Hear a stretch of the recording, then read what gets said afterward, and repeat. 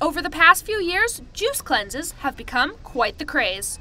Drinking only fortified juices are said to detoxify your body and kickstart healthy eating habits. One of the most popular is the Blueprint Cleanse, available at your local Whole Foods. The Blueprint is the first cleanse to offer varying levels of intensity.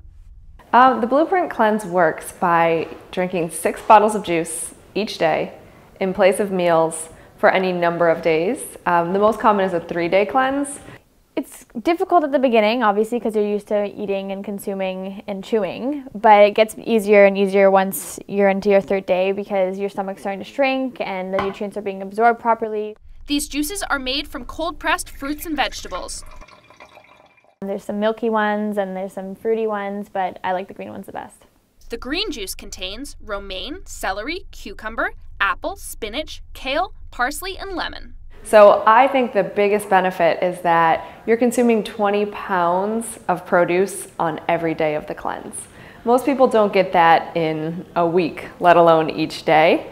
This detox cleanse is not advertised as a weight loss program. However, people who have a few extra pounds to lose have reported weight loss as an added bonus.